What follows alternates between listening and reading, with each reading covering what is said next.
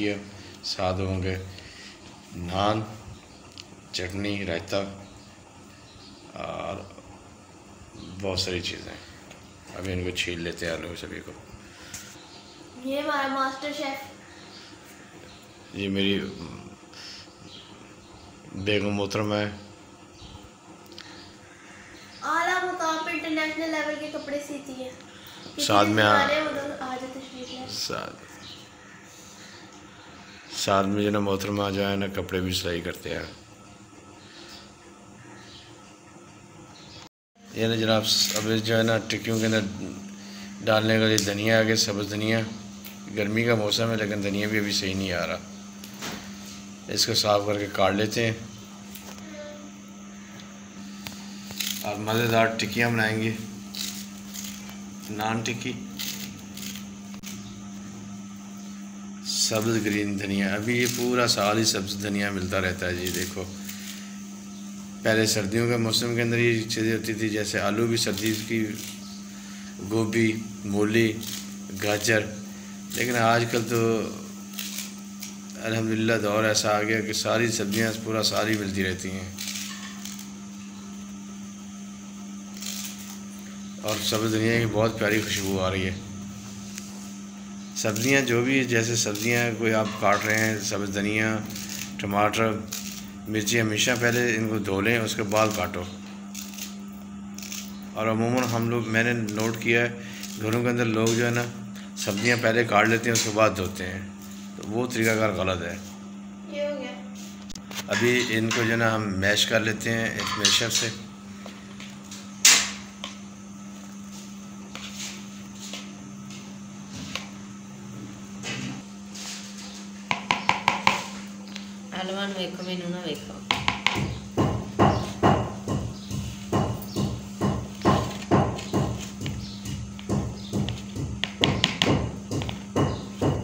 आलू अभी हो गए हैं मैश और साल में जो है बच्चे मसाला कूट रहे हैं। कूटने की आवाज़ आ रही है कुंडे के अंदर।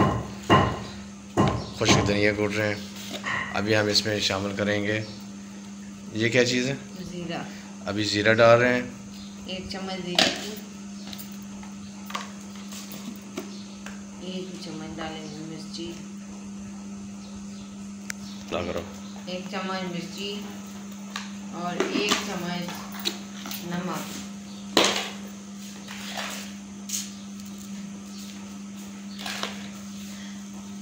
और ये है ये सूखा धनिया खुश्क धनिया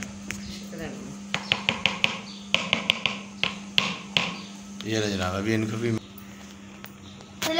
आज हम बना रहे हैं आलू की टिक्कियाँ। आलू की टिक्कियाँ बहुत ही मज़े की होती हैं। आप सब चीज़ों के साथ खा सकते हैं लाइक नान के साथ हो गया, पुलाव हो गया, किसी भी चीज़ के साथ नॉर्मली खा सकते हैं। हम इनको बना के डीप फ्रीज भी कर सकते हैं, जब चाहे इनको फ्राई किया और खा लो। शाम में भी खा सकते हैं चाय के साथ। और इनको बनाना भी बहुत इजी है। उसके लिए हमने लिए आलू। आलू को बॉईल किया। उसमें हमने थोड़े से मसाले डाल लाइक मिर्ची, नमक एंड चाट मसाला एंड ये धनिया। फिर इनको अच्छी तरह मिक्स करेंगे। मिक्स करने के बाद इनकी अच्छे से इनका शेप दे के इनको फ्राई या जिन्होंने डीप फ्रोज करना है वो कर ले। इसको मिक्स अच्छे तरीके से करना ताकि सारे मसाले आलू के अंदर अच्छे तरीके से जज्ब हो जाए, ताकि टेस्ट अच्छा वाला आए। और इसमें चाट मसाला इसलिए इसलिए डाला ताकि इसका टेस्ट जो है वो ज़्यादा इन्हेंस हो और अच्छा मज़ा खाए तो चट खारा सा भी टेस्ट है थोड़ा सा। अभी हम आलू की अच्छी प्यारी प्यारी गोल गोल टिकिया बना लेते हैं और इनको लाइन पर रखते जाते हैं ट्रे में।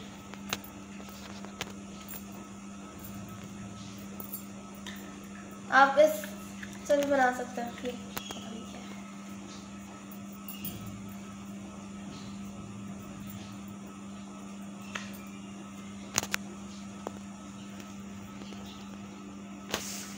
इसके बाद आप इसको बेसन में, किसी भी चीज़ में इसकी कोट करके ऊपर से ब्रेड क्रम्स में भी करके तो इसको फ्राई कर सकते हैं। ब्रेड क्रम्स में ऐसे कि अंडे में, फिर ब्रेड में, फिर अंडे में करके तो इसकी फ्राई कर लें। अगर आपने बेसन में करना है तो बेसन में थोड़ा सा पानी थोड़ा सा नमक थोड़ी सी मिर्च और ज़ीरा और थोड़ा सा चाट मसाला डाल के तो उसमें कोट इसके ऊपर करके तो अच्छे से फ्राई करना सो गाइस हमने टिक्कियाँ बना के रेडी कर ली हैं।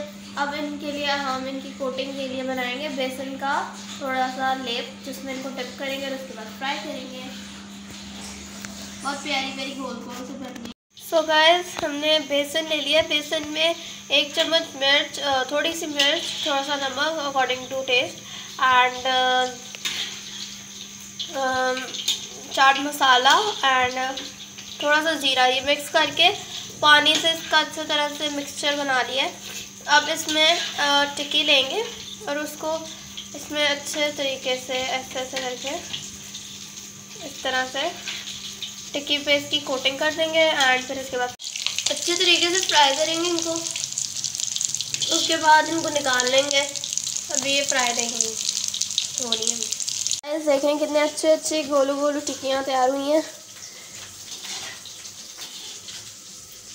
बहुत ही मज़े की आप चाय के साथ खाना चाहें, चाय के साथ खा सकते हैं, नान के साथ खाना चाहें, नान के साथ खा सकते हैं, नान टिक्की के तौर पे। और अगर पुलाव के साथ खाना चाहें एज आ कटलेट तो उसके साथ भी खा सकते हैं।